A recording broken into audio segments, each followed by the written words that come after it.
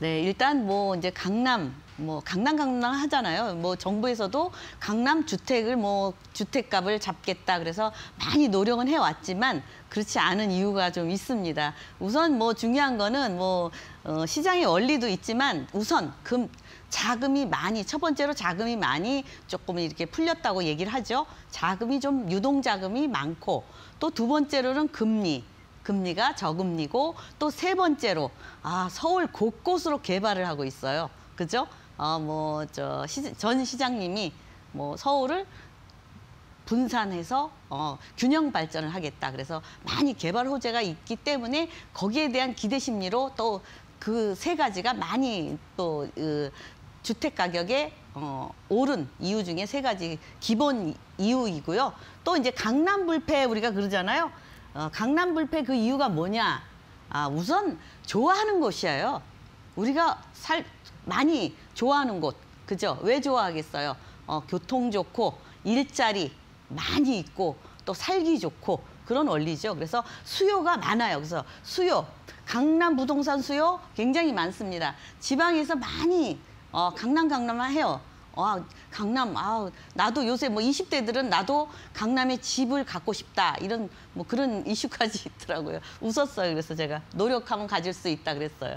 예. 우선 공급이 없어요. 예. 수요에 비해서 공급이 아주 턱없이 부족하죠. 이 다른 지역은 공급이 자꾸 늘어나는데 강남은 기존에 있던 뭐 재건축이라든가 해서 새로 지어도 뭐 몇백 채 이렇게 조금 늘어나기 때문에 공급이 많이 부족하고 일자리는 그곳에 반해서 어느 전국적으로 가장 일자리의 그 수요가 몰려 있는 곳이라고 말씀드릴 수 있겠습니다. 그래서 어, 집값 상승이 멈추질 않죠. 그래서 집값 상승은 우수한 입지, 또 대규모 개발, 개발 호재죠. 예, 그것과 또 교육, 교육, 또뭐 어, 강남 인프라 강남 인프라라고 그러면 그만큼 생활하기 편리하고 모든 게 갖춰져 있고 오죽하면 요즘 그래요. 아, 뭐 외국 안 가도 우리 서울도 강남도 뭐 해외 못지 않다. 이렇게 얘기할 정도로 그만큼 잘 갖춰져 있다 얘기해요. 그래서 강남 선호 심리가 굉장히 강하죠. 모든 사람이 나도 강남에 집이 있었으면 좋겠다.